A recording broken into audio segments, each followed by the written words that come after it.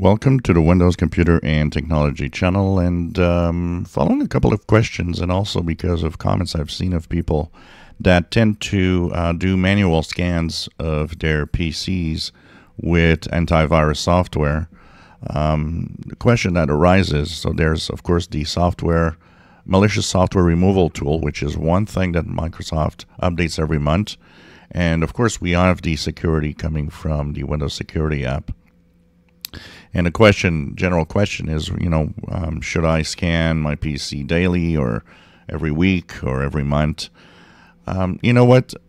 I never scan my PC. I never. It was never something I did because um, unless you um, think you did something wrong, un- unless you click something and you're not sure of anymore, and the first line of defense should technically work in letting you know something's wrong already um, in most antivirus if it's something that it can detect.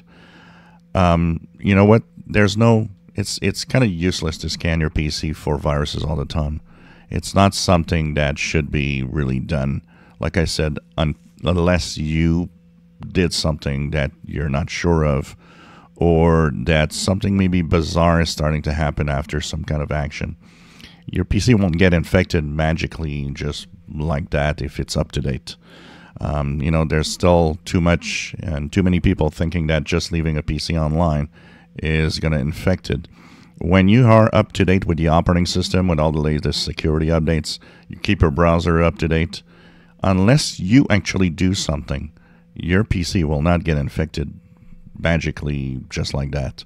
So that's why uh, you know, there's already a basic scan that's done automatically by Windows Security. It has its own scan that it does regularly, uh, and that's enough. There's, you know, you you have nothing to do. Uh, there's, it's kind of useless to, you know, lose your time in having a, a scan of your PC with antivirus software uh, in general. So just, you know, leave it alone and leave what these tools are all about to a moment where you think maybe you goofed up and something's not right, or just, you know, leave it like it is. If you enjoy my videos, please subscribe, give us thumbs up. Thank you for watching.